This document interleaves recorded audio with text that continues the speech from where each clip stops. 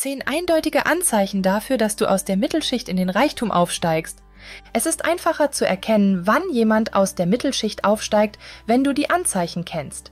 Dabei geht es nicht nur um das Vermögen, sondern um eine komplette Überarbeitung deines Lebenskonzepts. Hier sind zehn klare Anzeichen dafür, dass du aus der Mittelschicht in den Wohlstand aufsteigst. Nummer 1. Verfügbares Geld ohne einen bestimmten Zweck zu haben. Eines der ersten Anzeichen dafür, dass du dich auf dem Weg zum Reichtum befindest, ist, dass du über Geld verfügst, das du nicht für einen bestimmten Zweck verwendest. Wenn du deinen Notgroschen und deinen Investitionsplan erstellt hast, wirst du feststellen, dass du über zusätzliches Geld verfügst, das du verwenden kannst. Wenn der Druck, es zu verwenden, abnimmt, wirst du offener für gute Gelegenheiten. Die Herausforderung besteht jedoch darin, dass vielen Menschen die Mittel fehlen, um diese Chancen zu ergreifen. Nummer 2. Du verdienst mehr Geld mit deinem Vermögen als mit deinem Job. Wenn dein Vermögen mehr Geld einbringt als dein Job, ist das ein klares Zeichen für Wohlstand. Das bedeutet eine grundlegende Veränderung in der Art und Weise, wie du Geld verdienst. Investitionen wie Immobilien, Aktien oder ein Nebengewerbe beginnen für dich zu arbeiten. Du erkennst, dass dein Geld die Kraft hat, sich selbst zu vervielfachen und brichst den traditionellen Kompromiss zwischen Zeit und Geld auf. Das ist der Moment, in dem der Traum von finanzieller Freiheit Wirklichkeit wird. Es ist ein ermutigendes Gefühl zu wissen, dass du für deine finanzielle Sicherheit nicht nur auf deinen Job angewiesen bist. Diese Unabhängigkeit unterscheidet die wirklich Wohlhabenden von der Mittelschicht. Nummer 3. Geld ist nicht länger ein emotionaler Auslöser. Auf dem Weg von der Mittelschicht zum Wohlstand passiert etwas Aufregendes. Geld ist kein Stressauslöser mehr, sondern wird als wertvolles Werkzeug betrachtet, anstatt eine tägliche Sorge zu sein. In der Mittelschicht kann sich Geld wie ein ständiger Kampf anfühlen, Rechnungen bezahlen, für die Zukunft sparen, jeden Monatslohn zusammenkratzen. Wenn du jedoch Vermögen anhäufst, ändert sich deine Sichtweise. Du nimmst deine Finanzen in die Hand, anstatt sie dein Leben bestimmen zu lassen. Es geht nicht mehr nur darum, über die Runden zu kommen, sondern darum, strategische Entscheidungen für Wachstum und Stabilität zu treffen. Dieser Perspektivwechsel gibt dir ein Gefühl der Ruhe und Kontrolle. Du kannst jetzt finanzielle Entscheidungen treffen, die auf einer Strategie beruhen und nicht auf dem bloßen Überleben. Es ist ein bemerkenswerter Übergang vom reaktiven zum proaktiven Umgang mit Finanzen. Diese neu gefundene Ruhe ist wirklich einer der ultimativen Vorteile, wenn man sein Vermögen vermehrt. Nummer 4 Du gibst der Zeit den Vorrang vor dem Geld. Anfangs tauschen viele von uns ihre wertvolle Zeit gegen Geld ein, indem sie stundenlang arbeiten, um einen Monatslohn zu verdienen. Doch die Wohlhabenden erkennen, dass Zeit der ultimative Schatz ist, viel unbezahlbarer als jede Menge Geld. Du fängst an, dich darauf zu konzentrieren, dass jede Sekunde zählt, um maximale Wirkung und Rendite zu erzielen. Das kann bedeuten, dass du Aufgaben delegierst, in zeitsparende Systeme investierst oder einfach Aktivitäten auswählst, die mit deinen langfristigen Zielen übereinstimmen. Es geht darum, dein Leben so zu optimieren, dass jede Stunde für dein Wachstum, dein Glück und deinen Erfolg genutzt wird. Diese Veränderung ist wirklich tiefgreifend. Es geht nicht nur darum, finanzielle Gewinne zu erzielen, sondern auch darum, ein Leben zu gestalten, in dem du deine Zeit damit verbringst, dein eigenes Leben und das Leben der Menschen um dich herum zu bereichern.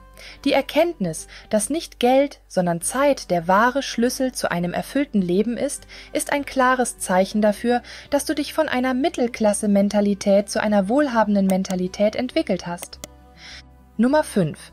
Du hast mehr Vertrauen in deine finanziellen Entscheidungen. Am Anfang können sich finanzielle Entscheidungen überwältigend und unsicher anfühlen, voller Ungewissheit und im Vertrauen auf traditionelle Weisheiten oder den Rat anderer.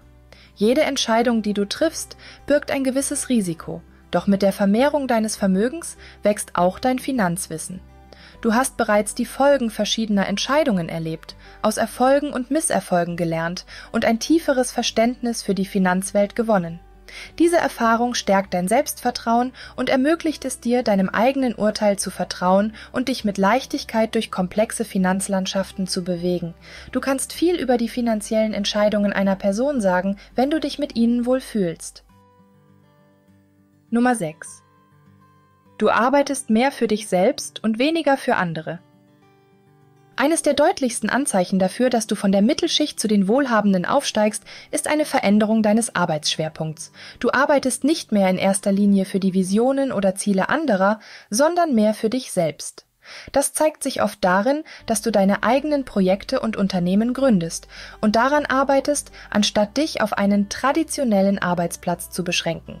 Diese Veränderung bringt einen erheblichen Zuwachs an Autonomie und Kontrolle über dein Berufsleben mit sich. Es geht darum, die Verantwortung für deinen eigenen Erfolg zu übernehmen. Indem du wichtige Entscheidungen triffst und die Richtung deiner Arbeit bestimmst, bist du nicht mehr nur ein kleiner Teil eines größeren Systems. Du wirst zum Mastermind deines eigenen beruflichen Schicksals. Bei diesem Wandel hin zu einer selbstbestimmten Arbeit geht es nicht nur um finanzielle Unabhängigkeit, sondern auch darum, persönliche Erfüllung zu finden.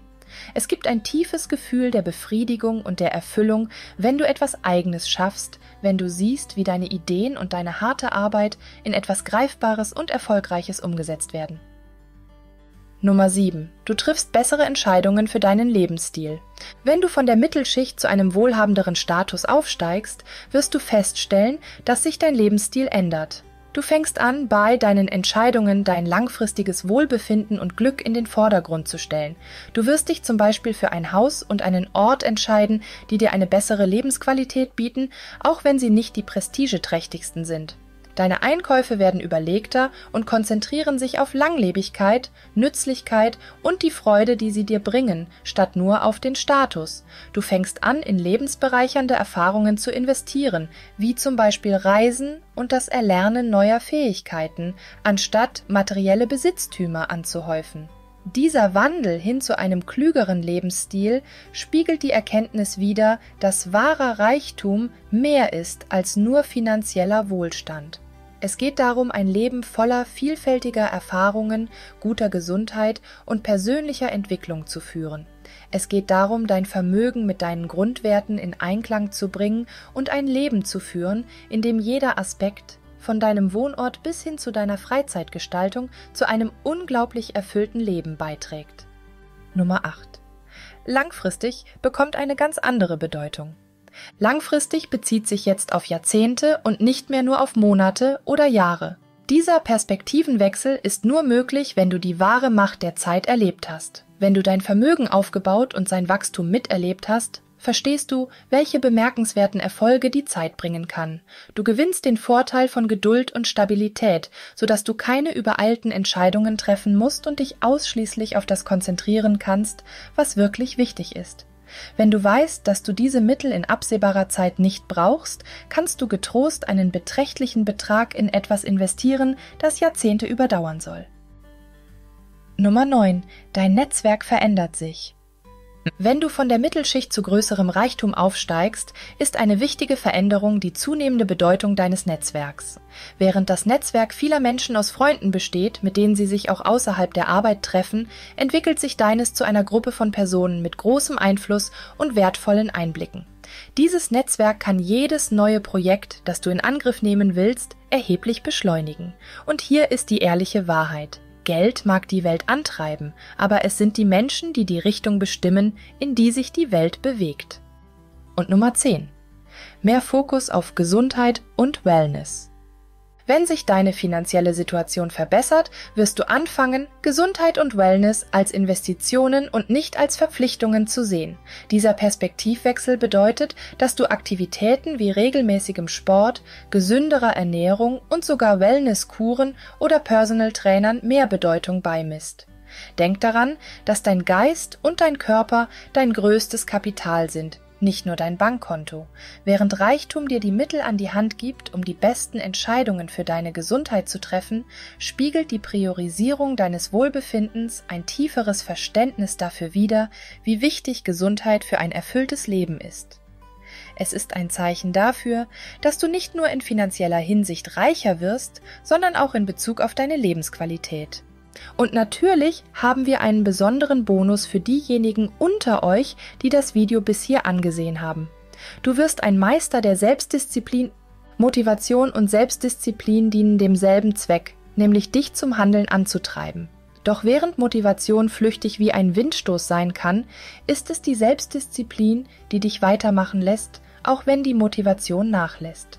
Ehrlich gesagt, haben wir noch niemanden getroffen, der sich ausschließlich auf Motivation verlässt, weil sie zu unberechenbar ist. Sie ist auf lange Sicht nicht verlässlich. Sicher, du kannst dich und andere für einen relativ kurzen Energieschub motivieren, indem du dir einmal ein Motivationsvideo ansiehst, aber das wird dich nicht dazu bringen, die nächsten zwölf Monate jeden Tag ins Fitnessstudio zu gehen. So funktioniert das einfach nicht.